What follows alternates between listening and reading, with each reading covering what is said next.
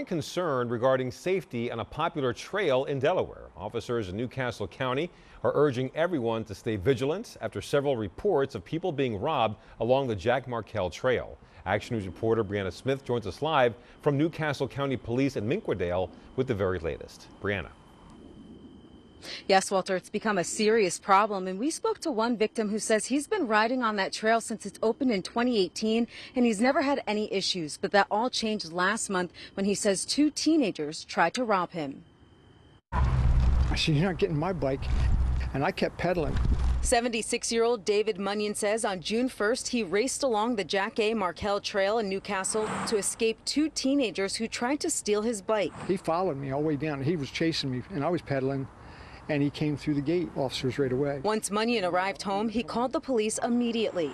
Officers found the two teenage boys responsible, and Munyon walked away with no injuries. It makes me look around who's coming and you know who's there. New Castle County Police warn visitors they're investigating several thefts and attempted thefts along the trail. I'm totally surprised. That's first I've heard of any uh, people having any problems in this area. Now some fear for their own safety as they walk run or ride on the 5.5 mile scenic trail that connects Wilmington and New Castle. Uh, that's a big concern, you know. You have younger people out here and young girls or even young men or whatever, you're not expecting something like that. It's a shame that I'm hearing about all these things because it's a very pretty trail to come and do fun activities. Police advise visitors to follow these safety tips. Travel with a partner when possible, keep valuables out of sight, and be vigilant and cautious of unfamiliar people.